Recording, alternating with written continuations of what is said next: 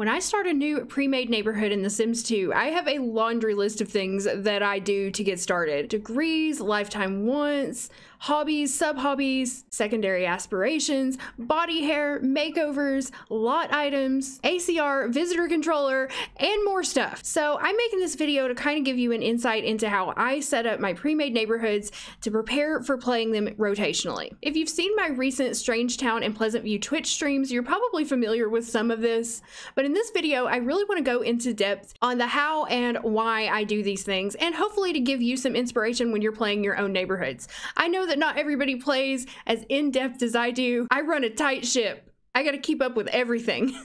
so take what you like from this video, discard the rest, and don't forget to follow me on Twitch where I'm streaming The Sims 2 three times a week so you can see more. The first thing I do when I'm starting a new pre-made neighborhood is go to the Sims wiki and look up the information for each individual sim. You can also do this in SimPE, but I prefer to do it on the Sims wiki because it's just faster and easier. Today we're gonna be setting up Veronaville. So I might read, if I'm not familiar with the neighborhood, like I'm not as familiar with Veronaville, I might read a bit about it a little bit, but the information that I'm really after is down here in the family section. So I will open up each individual family member and then I will put them all into a spreadsheet like this. This is a spreadsheet in Google Sheets. Everyone should have access to this if you have a Google account. And this is what my tracking spreadsheet looks like. This is the information that I keep up with for each sim. I keep up with the rotation that I'm currently on, the household names, last name, first name, role in the family, age, which right now it just says elder, teen, adult. I will actually put in a specific numerical age whenever I get there. Uh, zodiac, aspiration, secondary aspiration, lifetime want, career,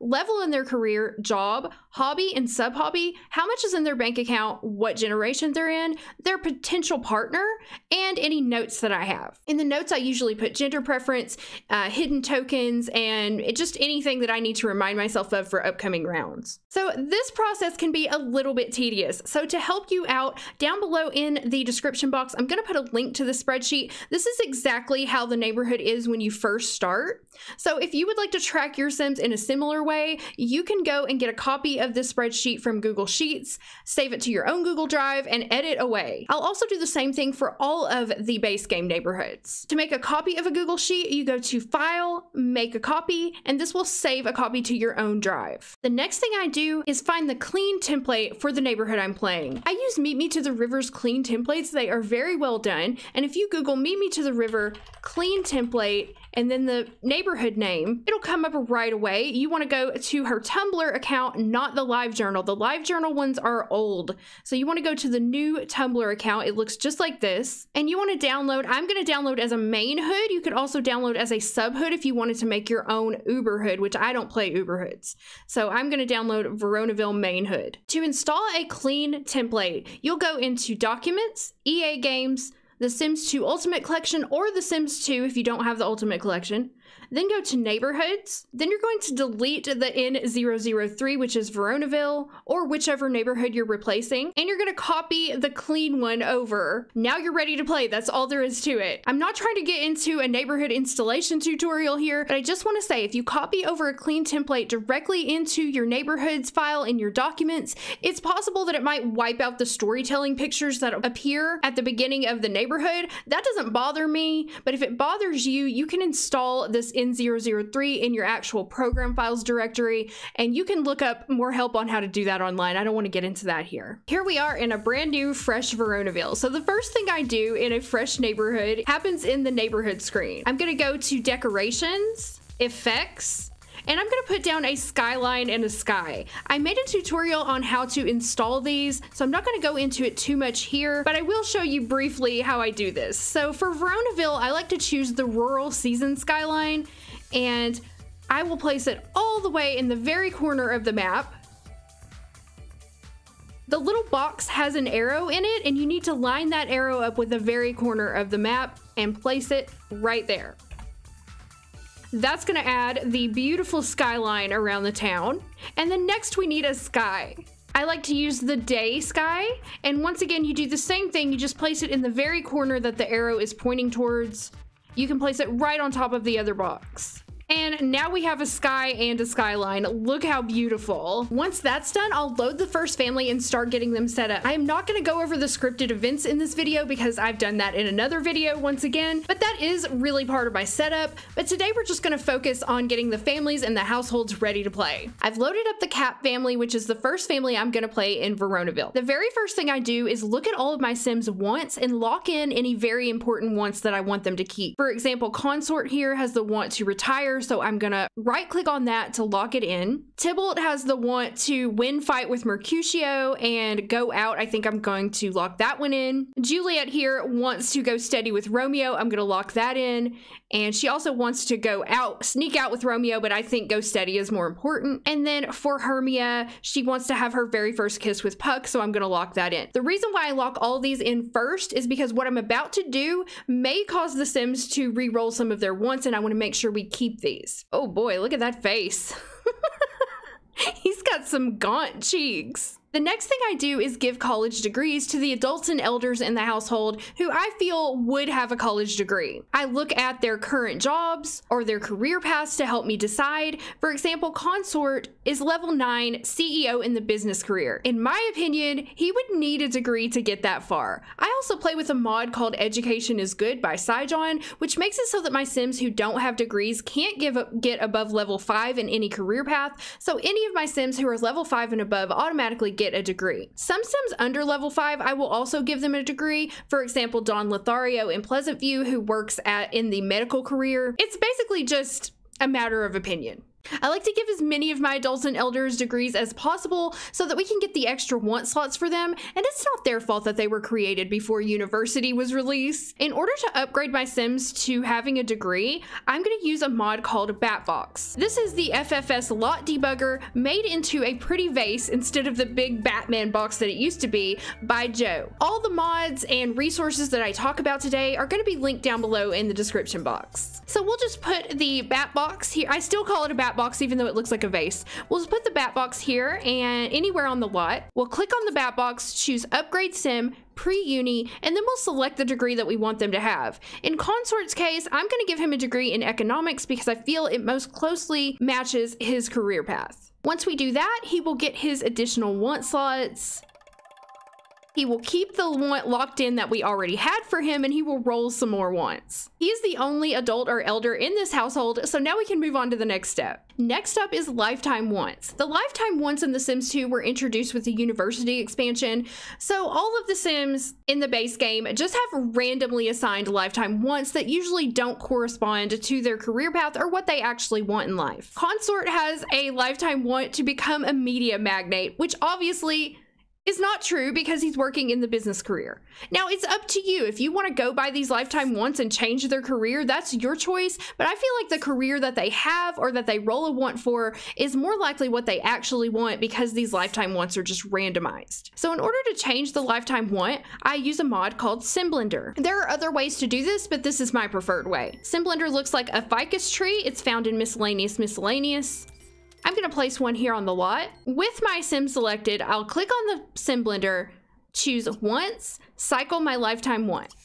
Then I'll check again, and if it's not what I want, I'll keep cycling until I get what I want. Earn 100,000 simoleons would be a good one for a fortune sim. Own five top level businesses. Now this is, using the sim blender, this is going to cycle through all of the lifetime wants that are suitable for fortune sims because that's what Consort consort is. If you want to cycle through all the lifetime wants available, you'll have to spawn the sim modder. And you can do that by enabling testing cheats, shift clicking on the sim, choosing spawn sim modder and it will spawn a creepy little standing baby here. You can click on the baby, choose wants and fears, lifetime, cycle through all lifetime once. I don't like using this method because you have to actually press play each time you do it. It's like an action that the sim has to take, but with the sim blender, you can just keep it paused the whole time. You can also use the bat box so you don't even have to use the sim blender if you don't want to. I put a sim blender on every lot and I'm just used to doing it that way. But you can also use the bat box and go to want, cycle my lifetime want. I'm gonna leave Consort's lifetime want to earn 100,000 simoleons. And I'm gonna put this in my spreadsheet now. I'm gonna be updating the spreadsheet as I go. To keep everybody's information current. But don't worry, the spreadsheet I'm sharing with you down below will be completely blank except for the information that's available at the beginning of the game, so you can choose your own lifetime once and fill in your own information. I only assign lifetime once to adults and elders. My teens, I wait until they age up to adults so that they have more time to find themselves before I choose their lifetime want. Next, I calculate secondary aspirations. I also only do this for adults and elders, once again giving my teens more time to find themselves before we saddle them with another aspiration. To find a sim secondary aspiration, I use a calculator that was created by one of my subscribers long ago named Shirley Zoo. Thank you so much, much again, Shirley. And I have been using this calculator for years now. It uses the sim's interest to calculate what secondary aspiration would be best for them. Here's what the calculator looks like, and you can download and use this calculator yourself. Once again, I'll link that down below. All we do is enter in the number of points for each interest. So for example,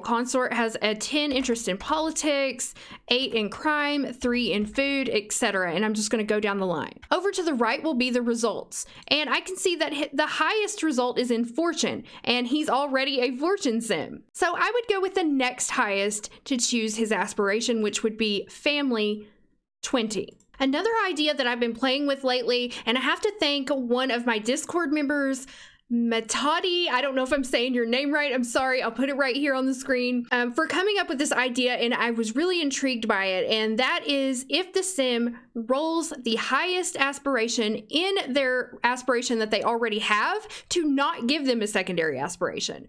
That this just makes them a pure fortune sim in Consort's case. So I think I'm actually going to start doing that going forward. Previously, I would have gone to the second highest, which is family. Then I'll go to the sim's aspiration reward rewards and give him his lifetime benefits. I always give my sim the full tree in their primary aspiration. For fortune sims, I'll give them all four benefits in fortune. And then I would use an additional point to give a secondary aspiration. If they don't roll a secondary aspiration, I'll use it in something like needs or work. I recommend setting your sim's lifetime want before you do the secondary aspiration because if you do the secondary aspiration first, you'll have to scroll through all of the lifetime wants for their primary and a secondary aspiration, unless that's something that you want to do. Next on my list is hobbies and sub-hobbies. I perform this step for all the Sims on the lot from toddler on up. If you have the free time expansion, all Sims in The Sims 2 have a predestined hobby, also known as their one true hobby. If you click on Sim Blender, go to traits, choose the sim, then choose hobby, the one hobby, the one that's grayed out is their one true hobby. In some cases of the pre-made Sims, I will change this if I feel it doesn't suit them. For example, Lilith Pleasant's hobby is sports, and I just don't think that suits her, so I change it to music. I only do this for the pre-made Sims because they already have personalities, but Sims that I raise up from children or toddlers, I let them develop their personality based on the hobby, and other traits, of course. You can also randomize their hobby if you like using the Sim Blender. Hobbies are chosen by the game based on the Sim's personality, and I don't always agree. In this case, I really don't see Consort as being a sciency type of sim. He works in business, he's a fortune sim. I don't think he's that interested in science, and I don't know what else he would be interested in, so I'm just gonna randomize him. Then we go back to traits, consort, hobbies, the one hobby, and I see that he has rolled fitness. So that's fine with me. He can work on his fitness in his old age. Not only do I choose hobbies, I also use a sub hobby system to make our Sims more unique. I have to give credit to Fire Princess for coming up with the idea for the sub hobbies. This is my own unique spin on it. And I also want to put Fire Princess's link to her YouTube channel down below. She also makes really awesome Sims 2 videos, so go check her out. To see my sub hobby system, go to my website, pleasantsims.com, then click on rules rules, then click on the Sims 2 Pleasant Sims gameplay rules. Then in the table of contents, select hobbies. Now you'll see my list of sub hobbies. Because Consort is a fitness sim, we're gonna find the fitness heading.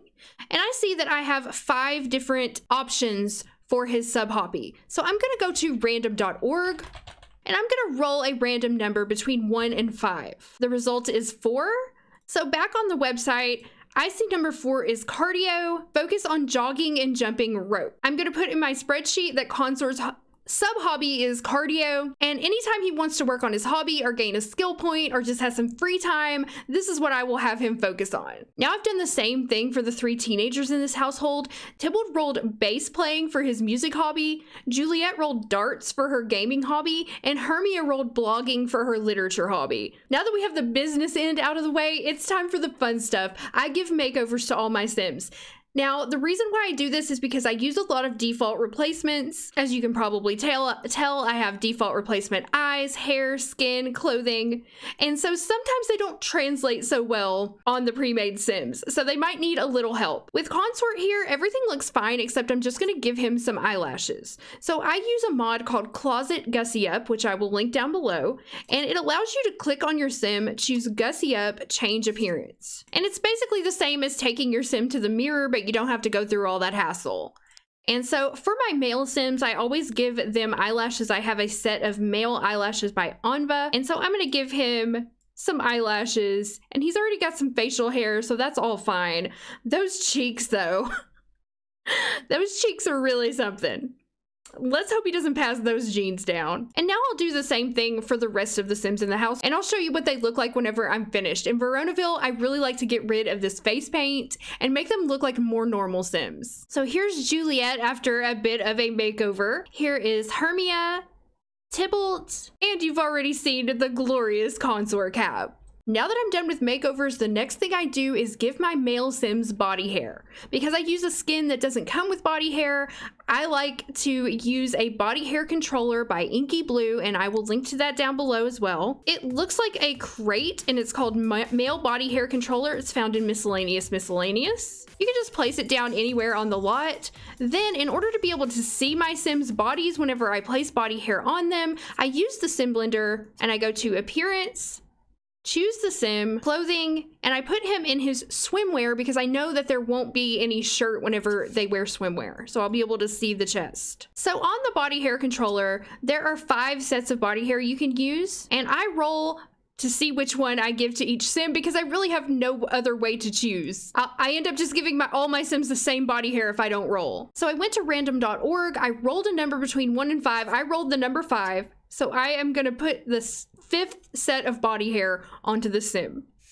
And it takes just a minute, then it shows up, and the body hair, hair will stay on them even after you delete the crate. You don't have to do anything else. This is theirs for life. So I do I do not put body hair on my teen sims. I wait until they turn into adults. So consort's the only one we have to do on this lot. When I'm done, I just delete the mod and that is taken care of. The next thing I do is spawn both an ACR adjuster and a visitor controller. Now, of course, this will not apply to you if you don't use ACR. ACR is also known as Autonomous Ca Casual Romance. I highly recommend that you do use this mod because it adds a lot of drama and autonomy to your Sims' lives by letting them choose their own romantic partners more often and have just more casual romance in their lives. So if you do use it, um, then you're going to click on your sim, on any sim on the lot, go to adjust, casual romance, spawn adjuster, and then this stack of phone books is going to appear. Now, I don't particularly like a stack of phone books just sitting around my Sim's house, so I will go to adjuster, change model and I change it to a pretty orchid, which I will then put into someone's bedroom, usually the adult of the house. That way I always know where it is and what it looks like if I need to use it. So I'll need to get him another end table to put this on in there. I'll just put it right in the bedroom like that. Now I'm going to do something similar for the visitor controller. This is another mod that I highly recommend because it allows you to restrict which sims show up on your lots. This is very helpful for creating things like adults only bars, gay bars, things like that. But my main purpose for it is to keep the NPC matchmaker and the NPC garden club lady off of my lots. I just don't even want them to exist in my game. So before I ever press play, I go to adjust, visitor controller, spawn adjuster. You can also purchase this from the catalog under miscellaneous miscellaneous. Then I will click on the adjuster, choose NPCs, ban garden club lady, NPCs, ban Matchmaker. You can also use this mod to ban newspaper delivery, mail delivery, um, anything, uh, so many different options depending on what you want to do. But I typically just use it for the Garden Club Lady and the Matchmaker so that they don't show up on my lot and start annoying my Sims. After you ban the Sims you want to ban, you can just delete the adjuster and the ban will stay. Oh, and I also put my male Sims back into their actual clothing. instead of just letting them sit here in their swimwear. So I'll go back to appearance, consort clothing casual. And that will dress him back in his casual clothing. The reason why i use the sim blender for this is because you can leave it paused and it just dresses them automatically. They don't do the little spin. You don't have to press play. It's just an easy way to do it. The next thing i do is write down the amount of money that the household has. Right now we have 80,906 simoleons this is important because I have certain items that I want to add to each lot for realism, and I want to make sure that my Sims don't actually have to pay for those because I feel like they should be included in every home that exists. And these are thing like things like light switches, electrical outlets, air conditioners and air conditioning vents, street lights, toilet paper, and several other things. So I will probably make a video on its own about how I set up lots for realism. I don't want to go too much into it here because it might get a little tedious and this might get a little long. But anyway, I would purchase all of these items for the Sims, place them in the house how I wanted them,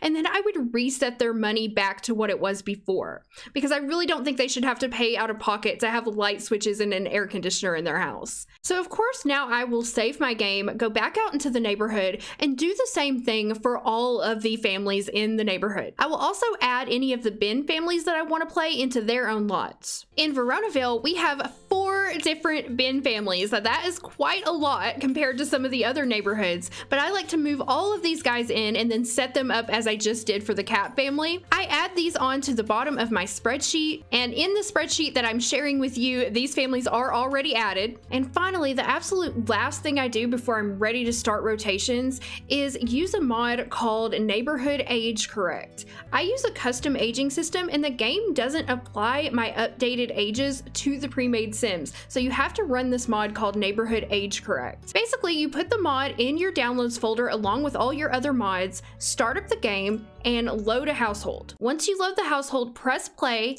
and wait a couple seconds. It usually doesn't take too long. And you'll get a pop-up says age check has checked and repaired everyone in Veronaville or whatever neighborhood. Then if you look through your Sims ages, you'll see that they've all been corrected based on your aging system or your aging mod. I'll put a link to my to my custom aging system tutorial up above and down below if you're interested in working with different age spans. If not, then this part won't apply. It's best to run the neighborhood age correct before you begin playing, and then as soon as you've run it, you need to stop your game, save, exit, and take the mod out of your mods folder. If you leave it in, it will run the age correct every time you load the game, and you don't want that. So take it out as soon as you run it once, and once that's all done, we're ready to start playing rotationally. I play each family for four days because I have four day seasons, so I like to keep everybody in sync. I play them a season at a time. There are many different ways you can play the game rotationally. Some people play for just one day at a time. They play each family for one day. Some people play each family for seven days. That's what I used to do. Some people play for three days, five days. It's really just up to you, personal preference, how you like to play rotations. Some people don't even play in order like I play. I have to play everybody in order and keep everybody's ages in sync. But some people prefer to just skip around and play however they want, and that's totally fine. I'm just giving you an idea of what I do, so maybe you can take some of these ideas and apply them to your own game. And so in my spreadsheet, I will keep up with which rotation I'm on. That way, when I come start up the game again, I can just look at my spreadsheet and easily tell which family I'm currently on. So I will put one each time I finish the first rotation and then go back through and play the second rotation etc. So that's how I set up my pre-made neighborhoods and get them ready to play. I would love to hear from you. Leave a comment down below and let me know what you do to set up your neighborhoods. Do you go as in-depth as this or do you just jump in and start playing? Also, don't forget to follow me on Twitch and I will see you guys with a new video very soon. Thanks for watching.